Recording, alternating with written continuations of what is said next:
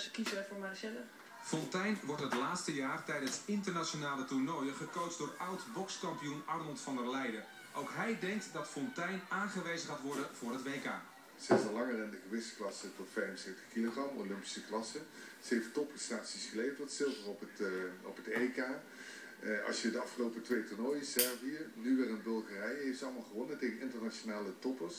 Ja, ze, ze, ze staat zo'n grote voorsprong, dat is gewoon bijna niet meer te realiseren voor Marechal om dat echt in te halen. Eind maart moet duidelijk zijn of Fontijn of toch de Jong naar het WK in